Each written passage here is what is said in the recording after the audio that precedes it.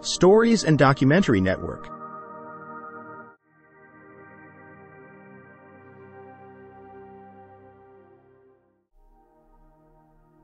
The Greek philosopher Plato once expounded upon an advanced civilization, as narrated by the Egyptian priests in the latter epoch of the dynasties. According to Plato's account, this civilization had traversed the oceans millennia ago, only to encounter devastation through a cataclysmic flood. The concept of a great flood is not confined to Plato's narrative. It finds mention in various sources, including sacred texts such as the Torah and the Quran, as well as the Avesta in Zoroastrianism, ancient Indian scriptures, and Sumerian inscriptions in Mesopotamia.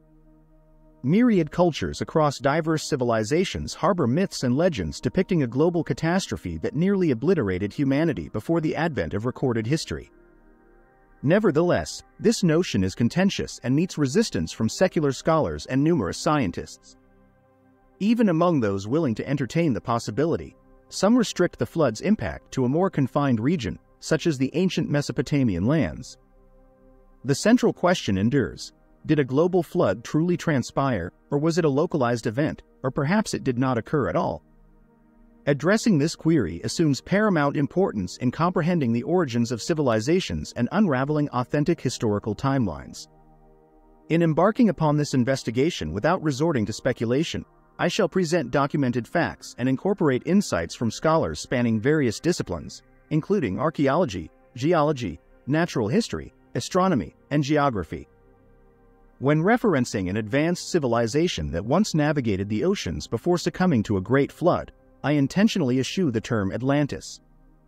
This deliberate choice stems from the fact that the mere mention of Atlantis has become a source of trepidation for many, especially within scientific circles. The term triggers skepticism, causing some individuals to disengage. This skepticism arises primarily due to the absence of tangible evidence supporting the existence of such a civilization, apart from the accounts conveyed by Egyptian priests to Plato and Herodotus during their dialogues. Numerous global heritage narratives offer descriptions aligning with what Plato recounted about the lost civilization. However, they refrain from explicitly identifying it as Atlantis. Instead, they provide intricate details mirroring Plato's descriptions without specifying the name Atlantis. For a comprehensive exploration of the ancient Egyptian timeline, we can delve into the meticulously delineated history by the Egyptian priest Manetho of Sebennytos, who categorized it into three prehistoric ages preceding the so-called dynastic era. These ages purportedly extended for approximately 36,000 years, ante-dating the reign of King Narmer and the unification of the Egyptian kingdoms. This constitutes a vital component of the authentic lifespan of the Egyptian civilization. Our journey will traverse various civilizations that were presumed not to have been in contact with each other, or at least, as documented in history books. Did the great civilizations only flourish in the Middle East and Near East, excluding the rest of the world? On the other side of the globe, in South America, referred to as the New World, is it truly new, or is it new to us only? In Bolivia, the archaeological site of Tiwanaku presents mysterious craftsmanship and advanced structures that defy explanation. Just over a century ago, Archaeologists determined that the city of Tiwanaku in Bolivia functioned as an astronomical observatory, aligning with the sun and stars and measuring stellar positions in correlation with the city's design. Their findings suggested an expected age of up to 17,000 years, using a method akin to Robert Bauval's determination of the age of the Egyptian pyramids. These pieces of evidence were neglected until recently. In this context, Archaeologist Dr. Neil Steede states, I believe the true history of Tiwanaku extends beyond 12,000 years, making it one of the oldest cities on Earth. The precision of the rock facades at this site is remarkable. If we were to bring a needle and attempt to insert it into every point where two rocks meet, we would be unable to do so. When the Spanish invaders asked the Inca people about whether they built Tiwanaku, they replied negatively, stating it was constructed long before them. This serves as evidence that an advanced civilization built it, and serendipitous discoveries reveal the remarkable evolution of this great civilization. The stones used in Tiwanaku are not cemented together. When someone separates two rocks, they discover an unexpected metal connecting them in the form of metal clamps. It's iron. But iron? How is that possible? Iron was not known until around 1500 BCE in the Middle East and 800 BCE in Europe. Did the peoples of the Americas have knowledge of iron before that? What has been discovered is truly astonishing. It implies the need for a mobile metal smelting facility to keep iron liquid and use it in construction. Our exploration of these interconnected mysteries challenges conventional narratives and prompts us to reconsider the scope and interactions of ancient civilizations across the globe. This implies not only a knowledge of iron but also the possession of technology to melt and maintain iron in a liquid state throughout the construction process, even on the building site itself. This necessitates advanced iron smelting facilities capable of generating temperatures in the thousands of degrees Celsius and requiring substantial energy, something unattainable solely with wood, even with our current technological advancements. Does this suggest they possess technology that remains undiscovered by our modern understanding? Yet, the discovery of iron clamps in Tiwanaku is not the most peculiar aspect. We now shift our gaze to Africa, specifically Egypt, on the other side of the world where colossal rock structures were formed using the same advanced technology. According to historical records, the ancient Egyptians were a people devoid of knowledge regarding wheels, pulleys, or even cranes. So, the perplexing question arises, how did they manage to construct structures with stones weighing over 100 tons, reaching great heights? Quoting from Robert Bauval's book, As an engineer, let me tell you that to lift rocks of this size, we need special equipment, colossal machinery. For people who didn't have cranes, didn't know wheels, and used simple copper tools, it is scientifically and theoretically impossible to achieve such a feat. Bauval, along with numerous other scholars, contends that the Great Pyramid of Giza is more than just a tomb. In his book titled The Guardian of Genesis, which explores various mysterious phenomena and issues, Christopher Dunn, an engineer and an expert in stone cutting within the Great Pyramid, raises an intriguing question. How did the ancient Egyptians, armed with primitive tools, achieve a perfectly polished and leveled interior surface of the stone sarcophagus, matching the precision of the exterior surface? Such an accomplishment demands a sophisticated understanding of physics. Turning our attention to the sacred bull pits in the Serapeum, Saqqara, we encounter boxes made of black and red granite, the remarkable elements here include the extraordinary leveling of the granite surfaces and the frightening precision of the right angles. What stands out is not only the leveling and angles of the external surfaces, which are considered impossible, but the level of precision in the smoothness of the internal surfaces and the straightness of the angles inside the box surpasses that of the external surfaces. An example is a box with a polished and leveled interior surface, while the exterior is yet to be worked on, it's crucial to note that these boxes are a single piece cut from a granite block, carved, and not assembled from six-sided components, as one might expect.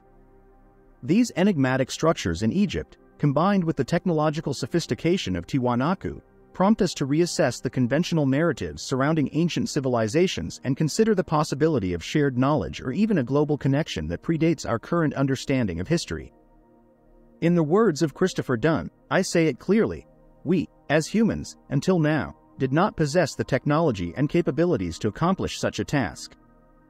The only way to do it is by using a curved saw and a curved drill. Then, they evolved the tools into a machine using sand or diamond, and the process would take an exceptionally long time. I believe they used powerful tools. If we wanted to do this now, in this era, to carve granite in this manner, we would need to develop a granite drill that bores at a rate of 2 inches every 10,000 revolutions. But they, who were much older than us, worked at a much faster pace. Researchers like Christopher believe in the existence of an advanced machine powered by energy that assisted in the drilling. However, the mere mention of the term mechanical drill might seem like an unacceptable conclusion for us. Nevertheless, there are traces of extremely fast drills, and this remains a mysterious matter that needs an answer. As we pass through all these grandiose artifacts, we encounter those Egyptian flower vases. I don't mean the ceramic flower vases you buy from a potter nowadays, but those made of harder rocks such as marble, basalt, and diorite, harder than granite itself. We might understand how they were shaped from the outside, but the puzzle that no one has attempted to answer until now is how they managed to hollow them from the inside through this small opening at the spout. Modern technology, advanced complex machinery, and artificial intelligence, supported by sciences in various fields, including space sciences, have not produced a model like this until now. How did they manage to make thousands of them before the dawn of the dynastic era, more than 12,000 years ago? How did they pave their colossal pyramids with immense precision toward the true north, surpassing the knowledge of contemporary builders with our sciences, aircraft, and satellites?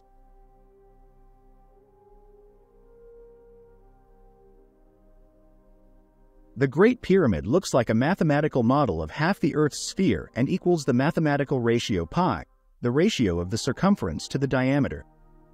This forms the foundation of modern mathematics. To achieve results like those in the Great Pyramid, the slope angle of the pyramid's sides must be set at 52 degrees. Any other slope angle will not achieve the mathematical pi ratio. However, did only the Egyptians know and use this mathematical equation in their structures? The answer, of course, is no. Returning to the New World, this mathematical ratio appears in the angles and slopes of this strangely shaped pyramid in the city of Teotihuacan in Mexico, later named the City of the Gods. This city was once larger than Rome, the capital of the Roman Empire. The mysteries embedded in these ancient structures beg us to reconsider the boundaries of our understanding and prompt us to explore the possibility of shared knowledge or influence between civilizations separated by vast distances and it was adorned with basins on the sides of the city, filled with water, reflecting the sun's rays on its ground in a breathtakingly beautiful scene. The temples, on the other hand, were on the opposite side of the city and believed to mimic celestial bodies. It seems clear that the place contained a distinct fascination with astronomy. During the vernal and autumnal equinoxes, on March 21st and September 21st, these pyramids cast giant shadows directly at their axes, making them solar clocks for people who excelled in measurement and astronomical precision. It appears as though ancient civilizations shared common sources of knowledge and had a profound understanding of the skies that is yet to be fully unveiled. They expressed great admiration for the sun, stars, and the phenomenon of Earth's axial precession, making the towers appear to move in the celestial dome throughout the night and time. Some argue that ancient Egyptians had less knowledge of astronomy, but the evidence from ancient Egyptian inscriptions shows a significant fascination with the sky and astronomical knowledge. Many astronomers believe that studying astronomy is the key to understanding many of Egypt's pyramids. The Egyptians looked at the constellation of Orion as if it symbolized Osiris, representing the afterlife and the realm beyond. Bauval asserts in this regard Evidence of Osiris is found in everything related to the pyramids of Giza. Some columns inside the pyramid that extend upwards, archaeologists do not consider them more than ventilation holes. However, astronomers think otherwise. For the Egyptians, these were the gates to the underworld, representing the kingdom of Osiris, or Orion, as they called it. The Egyptians believed that Osiris was responsible for the process of reincarnation. On the walls of the temples, the Egyptians wrote the following text, O my Lord, guide me to the path of the winds, the path in which Orion resides. Many believe that Osiris had extreme significance for the Egyptian builders, as they constructed their pyramids in perfect alignment with Orion's belt. Initially appearing as a coincidence, Bauval noticed that other nearby pyramid sites, when viewed as a single pyramid group, revealed the complete form of Orion on the ground. Starting from the legend of Osiris, some believe he is an Egyptian deity, which is the ancient Egyptian pronunciation for the name Idris, who is mentioned in the Bible as Enoch, the great-grandfather of the prophet Noah. Meaning he was sent to those who inhabited Egypt in the earliest human era, long before the Great Flood, after several millennia. The intricate connections between celestial observations, ancient myths, and the alignment of monumental structures hinted a profound wisdom that transcends individual cultures and beckons us to explore the shared knowledge of our distant ancestors. This confirms the true age of the Egyptian civilization as discussed in previous research. Egyptians hold Idris, Enoch, in high esteem, and over time, he has transformed into a legend, as is the case with all myths. He is the one who taught the Egyptians those advanced sciences that we have not reached so far, sciences such as astronomy, engineering, mathematics, timing, and agricultural seasons. Many of these sciences were lost after the flood of Prophet Noah. In Mexico, the Teotihuacan Pyramid serves as a similar counterpart. The myths say that this is the city of the gods, and its mission is to transform humans into celestial beings. Similarly, in Egypt, the myths tell us that the pyramids function to assist in the transmigration of humans into stars. However, there was a problem with the Mexican pyramid when it was discovered in 1906 CE. They found large pieces of the remains of a micaceous covering on the ceiling. Mica is a mineral component with silicate crystals, and we know one function of mica. It is used in electrical insulation. Despite mica not being available in Mexico and having to be brought from a distant location in Brazil, they insisted on using it in building that pyramid. Imagine transporting blocks of mica, each with a volume of 40 cubic meters, from a distance of over 3,000 kilometers. Surely, this was not about decoration but undoubtedly about the chemical and physical properties of mica. The city of Tiwanaku in Bolivia is another civilization that shares the same fascination with the sun and stars.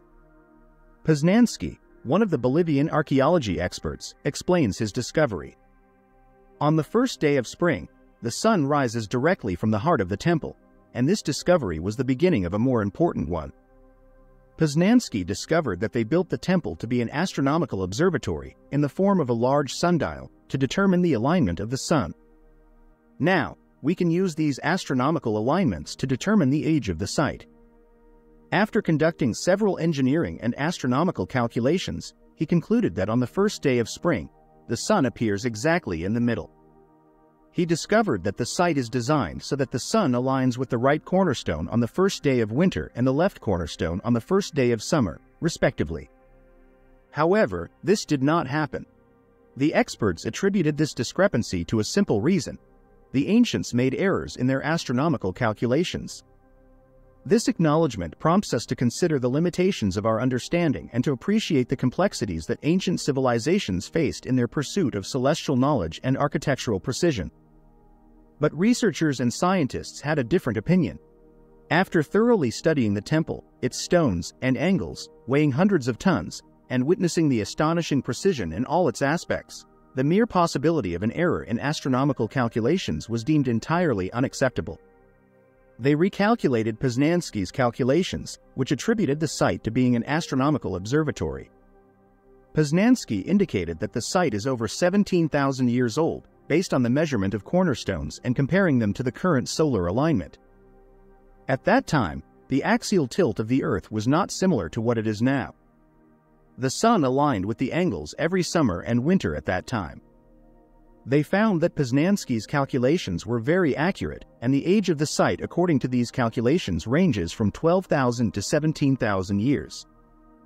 Did an advanced ancient civilization dominate the world, leaving its traces in various places worldwide? The Egyptian priests told the philosopher Plato that a sophisticated civilization existed more than 12,000 years ago. However, according to science, humans emerged from the Ice Age only 5,000 years ago. Could the ancients have made this astonishing civilizational leap preceding the Stone Age? In Egypt, the Sphinx statue presents strange and inexplicable scenes. Investigator John West conducted research that proved the Sphinx did not undergo the same natural factors as its surroundings. The environment around it was affected by horizontal wind and sand erosion, while it was affected by circular sculpting and undulating weathering marks. The West states that one doesn't need to specialize in earth sciences to realize the difference in erosion. Only water falling from above is capable of causing such undulations and cracks in solid walls. Wind and sand cause erosion in horizontal lines. Rainfall must have occurred continuously for several thousand years at a substantial rate to make this possible. Of course, there was no heavy rainfall in the Egyptian desert during the time of the pharaohs, as the region was extremely arid. For this to be possible, we must go back to the period after the last ice age, starting around 10,500 years before the Common Era, well before the emergence of the pharaonic dynasties by thousands of years. This period is known as the Wet or Flood Age, which submerged Egypt, North Africa, and many fertile lands, lasting for thousands of years. Egyptian archaeologists scoffed at this theory, but geological scientists adhered to it, proving their theory scientifically. The implications of these findings force us to reconsider the timeline of human history and the existence of advanced civilizations that may have flourished far earlier than conventional wisdom suggests.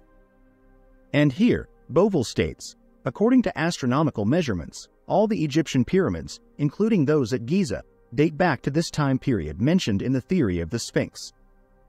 The design of the Giza pyramid complex, with its pyramids, perfectly matches the Orion constellation in size and direction. Only if we go back to the same mentioned date, which is 10,500 BCE. Returning to this same period, the Sphinx statue would be facing its celestial counterpart in the sky, referring to the Leo constellation. Since that time and onwards, the Orion constellation has begun to move in the celestial sphere, changing the shape of the sky dome with the Earth's axial shift. This could be an intentional signal, marking the beginning of a new era. Was the rise of the Orion constellation, or Osiris, what the ancient Egyptians meant by the ascension of Enoch or Idris to the heavens? If this theory is correct, then Idris ascended to the heavens, after which, many generations later, his great-grandson Noah came after a thousand years of Noah's mission, bringing the Great Flood that wiped out the advanced ancient civilizations. Afterward, humanity began anew. The new beginning for humanity is now referred to as the Stone Ages. But is there mention of such events in the rest of the world's civilizations? In Bolivia, in the city of Tiwanaku, myths venerate a lord known as Viracocha. According to the legend, Viracocha is tall, bearded, and fair-skinned. He appeared during a time of chaos and destruction, emerging from beyond the seas and bringing hope, knowledge, and stability to humankind. In Mexico, myths speak of their reverence for a lord known as Quetzalcoatl. Symbols of Quetzalcoatl are found in every temple and place, represented by the winged serpent. Mexican myths also state that he is fair-skinned, tall, and bearded. He came from beyond the seas, from the east, after massive floods, giving people the seeds of knowledge and civilization on this side of the world. Were these sacred lords real individuals who appeared after devastating disasters that befell the world, destroying civilizations? Was there an advanced civilization before this catastrophe, perhaps not only confined to knowledge and sciences but spreading its wisdom and sciences to different corners of the world, such as Egypt, Iraq, Mexico, China, and other lands? If we take clues from each civilization, analyzing each reveals only a little. However, what if we gather the commonalities of all civilizations and put them together? The threads of shared myths and legends woven across diverse cultures beckon us to explore the possibility of a global connection and an advanced civilization that once shared its wisdom with humanity, leaving traces in the myths and monuments scattered across the continents. For example, the ancient Egyptian civilization and the civilizations of South America on the other side of the world shared massive pyramid structures meticulously aligned with the original directions of the planet, perfectly matching modern mathematical standards. Both sides demonstrated advanced and intricate knowledge of astronomy, evident in the artifacts they left behind. Without the use of gears or mechanical levers, they managed to construct towering structures with colossal stones intricately connected using metal clamps and angles. Both sides employed rituals for mummification to honor and preserve their deceased. German pathologist Irina Balabanova discovered that many Egyptian mummies contained significant proportions of cocaine and nicotine. Despite facing significant scientific criticism for her findings, Irina found the same substances in hundreds of Egyptian mummies. These plants are only found in South America, according to the official narrative, and they were not known anywhere else on Earth before Columbus discovered the Americas.